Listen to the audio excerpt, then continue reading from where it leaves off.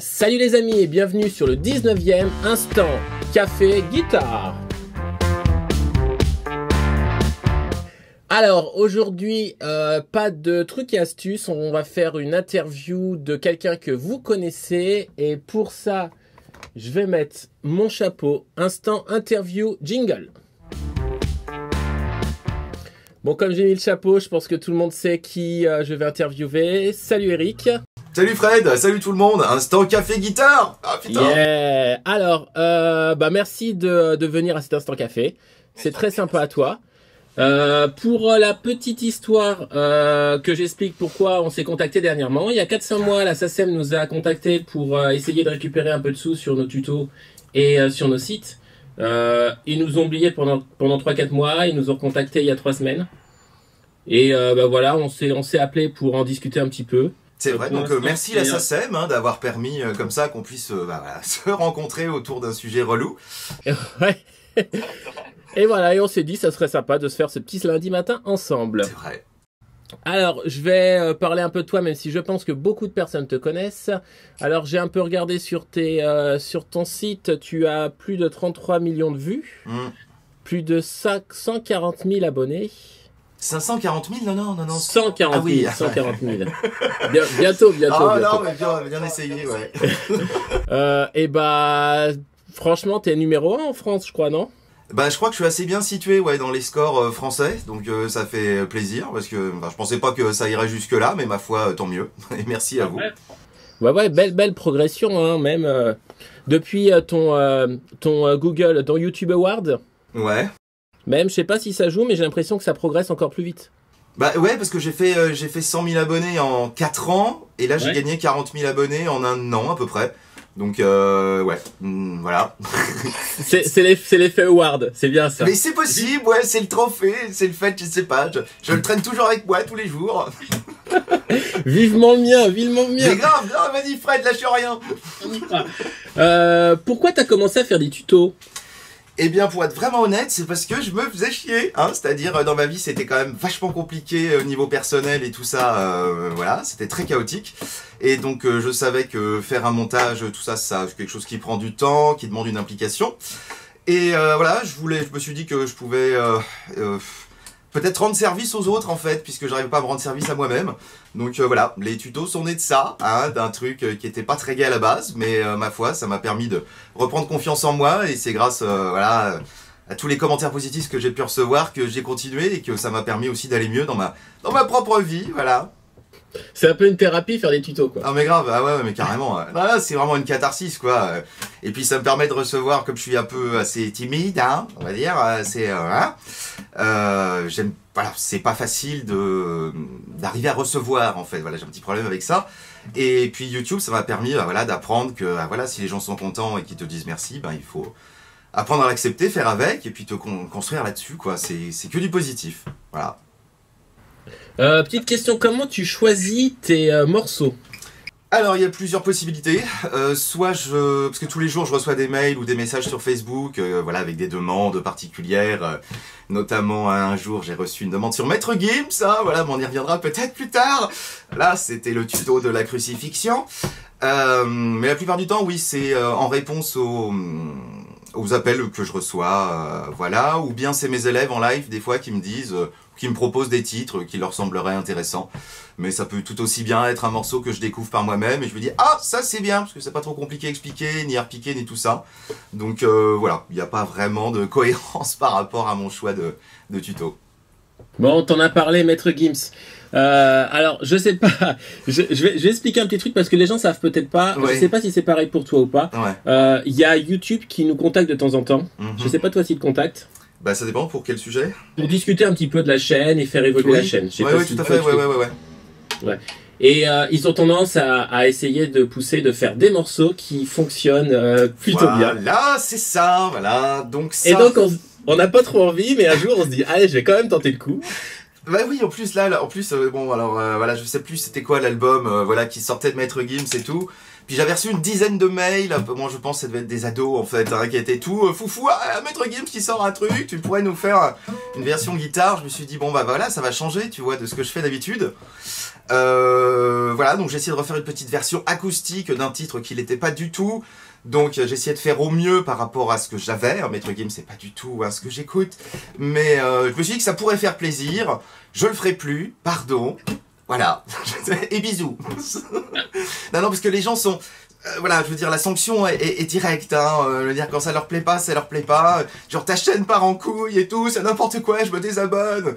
D'accord, ok, je le ferai plus, rendez-vous la semaine prochaine, ou regardez les 200 tutos qu'il y a déjà en ligne, je ne sais pas. Voilà. Et le titre c'était Je te pardonne, donc s'il vous plaît, appliquez la formule. Merci. Ah ouais, bah écoute, ouais, bah c'est ça, c'est euh, bah, c'est pas facile d'avoir une ligne de conduite sur une chaîne, quoi. Ouais, c'est ça. C'est-à-dire que, bah, au fur et à mesure, au début, je savais pas trop ce qu'il fallait que je fasse, tu vois. Donc, je prenais des morceaux acoustiques euh, qui, que je connaissais, euh, voilà. Mais au fur et à mesure, je me suis rendu compte que les gens aimaient bien un certain style, genre blues rock. Et puis, apparemment, c'est un truc qui, qui correspond à ce que déjà j'aime moi. Et, et du coup, voilà, je pense que le public attend cette cohérence-là. Donc, c'est vrai que quand je sors un petit peu de mon parcours de ce style-là, euh, voilà, je prends souvent un petit peu des risques, quoi. Bon, Maître Gibbs, en même temps, merde, j'aurais dû, j'aurais dû le savoir. Tu l'as jamais fait, toi, évidemment. Je vais pas tenter. Mais non, mais ne le tente pas, Fred, ne, le tente pas. Il y, en a deux trois, même s'ils sortaient des bons morceaux, je pense que je pourrais pas. Non mais non, mais non, mais arrête, jamais. C'est mort. Euh, maintenant, on va parler un petit peu de euh, matos, de, de, choses comme ça. Donc, bah allez, c'est parti, jingle matos. Alors, euh, ben, marque de guitare préférée euh, Takamine, ce qui me concerne. Marque de corde préférée euh, Ça change, mais en ce moment c'est Dadario. D'accord. Et quelle corde euh, Des de tir en light. Mais quelle, quelle référence ah, je ne sais pas, je l'ai pas sous la. tu sais même plus. Non, mais je ne sais plus. Non, parce que avant j'avais des élixirs, après j'ai changé, j'avais des Martines et tout. Là c'est Dadario. J'ai un pote qui m'en a filé trois jeux, je les trouve très très bien. Euh, voilà, elles tiennent euh, assez longtemps et puis surtout elles, offrent un son qui me plaît bien, quoi, qui est pas trop agressif, qui est assez rond. voilà. je, te, dis ça parce que je suis en train de sortir exactement en ce moment des vidéos de d'Adario justement de tests de ah cordes. Ah oui, d'accord. Ah bah oui, d'ailleurs, il me semble que j'avais vu ça dans les vignettes. Ouais, ouais, c'est vrai.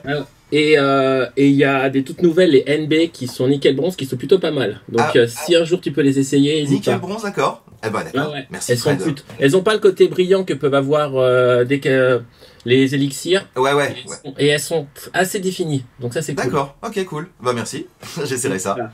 Euh, bah sinon, Matos, euh, qu'est-ce que tu conseillerais Qu'est-ce que tu as envie de, dire euh, T'as des petits trucs? Pour les débutants? Ouais, pour les débutants, ouais. Bah pour les débutants, parce que c'est toujours un peu compliqué de choisir sa première guitare, je dirais... Bah déjà, allez en magasin, voilà, parce que c'est bien de regarder sur internet, les prix, les machins, les trucs, voilà. Partez sur une gamme de prix, voilà, dites-vous, euh, je sais pas, moi, pour une première guitare, 150 euros, ça me paraît correct, franchement correct pour avoir un truc de qualité euh, qui tiendra, ce qui, que ça tiendra, c'est une première guitare. Et puis, euh, voilà, c'est les, c'est les, à mon avis, quand vous y allez, essayez de voir déjà si visuellement il y en a deux trois qui vous plaisent dans ce tarif-là, tac. Vous les choisissez comme ça, vous demandez après au mec, si possible, si vous jouez pas du tout, au vendeur de faire une petite démo. Vous demandez d'y aller cool, hein, parce qu'ils aiment bien faire des démos, sais, les mecs, ils sont là, ouais, vas-y.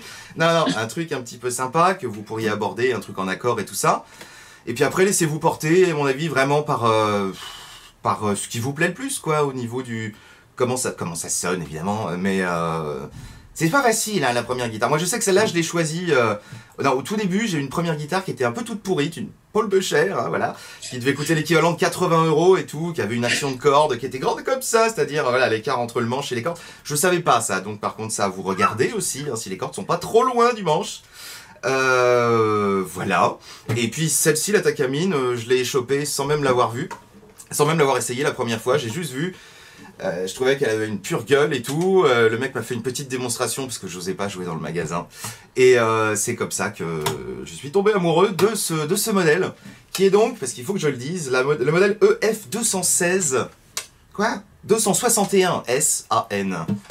Et ça fait combien de temps que tu l'as? Celle-là, je l'ai eu pour mes 20 ans, j'ai 36 ans, ça fait 16 ans. Ah, c'est ça. Ah, je compte vite un lundi matin, c'est dingue. faut plus compter. Euh, est-ce que tu as un petit conseil euh, technique à donner un petit exercice, le truc de Eric Legault? Alors j'avais pensé éventuellement à un petit machin marrant. Bon, c'est vraiment euh, débutant. Et d'ailleurs, je crois que j'avais déjà fait un tuto un peu dans ce genre-là. Un petit riff en fait, vraiment sympa si vous commencez la guitare. Euh, il s'agirait de, de gratter déjà sur le gros mi. Vous faites que découvrir le bas, vous vous embêtez pas. Mais par contre, vous essayez dès le début de poser la paume sur le chevalet. Ici, le chevalet, c'est le petit espace blanc là entre les plots et le début de la corde, qui vous permettra d'avoir ce petit son là. Ouais. Une fois que vous avez ça, vous êtes sûr que c'est bien calé, vous pouvez essayer de faire une petite suite comme ça. Euh, comment je faisais? Attends, attends, attends. Comment je faisais quoi? Je gratte deux fois 0 du gros mi. Troisième case du gros mi. Une fois le 0 du La, la corde d'à côté. Deux fois. Une fois le 1 du La. 0 du La. 0, 0, 3, 3. Après 0, 0 du La. 1, 0. Tu veux qu'on le fasse ensemble? Ah, bah, je sais Oh, pas, bah, ça va ouais. super synchro avec Non, Skype. c'est vrai, c'est vrai, non, ça On va peut essayer. Vas-y. Alors on essaye, tu pars, on va voir 3, 4. Mais Bah oui, c'est là, oui, je crois qu'il y a un petit décalage, ouais. Mais le but du jeu, voilà, quand tu vas vite, c'est marrant, c'est. Oh là là Attends, parce que j'essaye qu'on voit ma main, mais je, je n'ai pas le cadre assez large. Oh là là.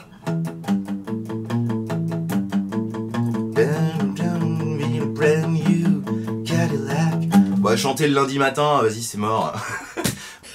C'est ça qui est bien sur le lundi matin, c'est qu'on n'est pas réveillé. Ah Allez, la, la semaine dernière, pour la vidéo, je je vais juste faire un petit aparté, je m'excuse, j'étais vraiment pas réveillé, quoi.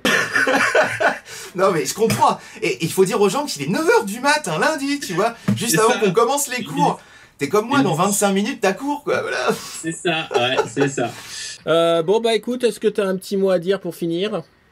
Eh bien, je dirais oui. Alors voilà, j'avais prévu un tout petit truc parce que je pense qu'il est temps maintenant euh, de se fédérer un petit peu parce qu'il y a plein de profs de guitare qui font de l'excellent travail et je Oui. crois qu'il est temps que nous, nous autres profs de guitare, nous rejoignions dans une espèce de communauté comme ça. Donc j'ai pris quelques noms de chaînes que peut-être vous pourriez découvrir, que j'ai découvert il y a plus ou moins longtemps. Donc il y en a une très récente, enfin en tous les cas que j'ai découvert très récemment, qui s'appelle Power Chord. Euh, un gars qui présente vraiment bien et tout, ça devrait vous plaire. Euh, sinon, un petit peu plus route, mais avec un contenu vraiment super intéressant, c'est Mister Chavo. Lui, il défonce, il est vraiment trop fort et tout. Il est spécialisé euh, manouche, gitan, tout ça, enfin gitan principalement. Euh, J'avais euh, vu, qui d'autre? Clément Vigier, évidemment Tabs for Acoustique que vous, vous devez connaître. La chaîne, bien entendu, de guitare facile de Fred, voilà. Ah ouais et puis, évidemment, l'ami Ipsaous, obligé, la chaîne de Terrafab, et puis, je ne sais pas, il y en aura encore d'autres, mais je pense que je vais essayer d'intégrer de temps en temps dans mes tutos maintenant euh, des intervenants. Euh, au moment où je dis euh, mes petites anecdotes, vous savez, quand je parle de l'album, de quand il est sorti, tout ça, eh bien, je vais, à mon avis, désormais écrire le texte et tout, le filer à un des youtubeurs, voilà, qui serait ok pour éventuellement participer à ma vidéo en faisant cette anecdote à ma place, voilà. Où c'est assez rigolo, c'est qu'on va être assez synchro, c'est que je suis en train aussi de, de m'organiser pour faire euh, des choses comme ça. Ouais, Donc, euh, cool, ouais, non ouais. mais il faut le faire en plus, euh, vraiment, euh, il y a comme ça, Non, voilà, euh, sympa. que ça peut devenir fun, parce que tout seul devant sa caméra, faire des montages jusqu'à pas d'heure, au bout d'un moment, c'est, c'est chiant. Tiens, on va en lancer une petite idée. Dans les commentaires, lâchez des commentaires sur des idées que, euh, ben, entre profs, ce qu'on pourrait faire. Oui, c'est, Euh, oui, a- oui, c'est bien ça, oui, oui, donner des idées, Ouais, participer. donnez des idées parce que vous avez plein de bonnes idées. Et euh, ben, je sais pas pour toi, mais moi je me nourris de tous les commentaires, de tout ce que je trouve sur Facebook, sur les forums. La même, ouais. Et voilà, donc euh, si les chaînes évoluent, c'est aussi grâce à vous. Donc n'hésitez pas à lâcher plein de commentaires avec plein d'idées. Puis YouTube, c'est interactif, donc euh, justement, c'est le but du jeu, c'est pas la télé, hein, on n'est pas passif derrière son écran, au contraire, on évolue grâce à tous vos commentaires et à, à vos soutiens. Yes. Bon, Eric, merci à toi. Bah, merci beaucoup, Fred. Bonne, Bonne semaine. semaine. Euh, Bah, tous plein de les choses. liens de euh, tout ce qu'a dit Eric, ça sera dans la description. Comme ça, euh, il y aura tout. Allez, et, euh, et ben, bonne semaine à tous. À la semaine prochaine. Ciao tout le monde. À très bientôt, ciao, ciao.